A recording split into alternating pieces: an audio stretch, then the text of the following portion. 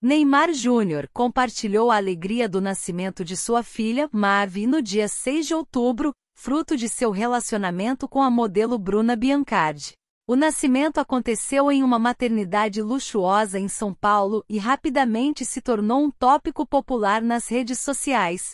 A decisão de Neymar de viajar até o Brasil para estar presente durante o nascimento de sua filha foi elogiada por muitos que o chamaram de paizão por estar fisicamente presente em um momento tão importante na vida de sua filha.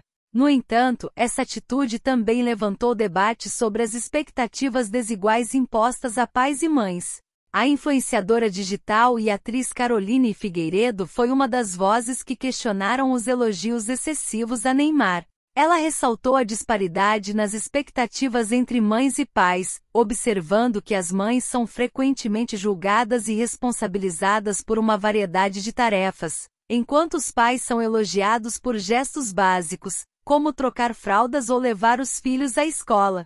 Caroline também fez uma crítica direta à situação de Neymar, mencionando as controvérsias em sua vida pessoal, incluindo a admissão de traição a Bruna Biancardi o que intensificou ainda mais o debate sobre a pressão social sobre as mães e a falta de responsabilidade atribuída aos pais em situações semelhantes.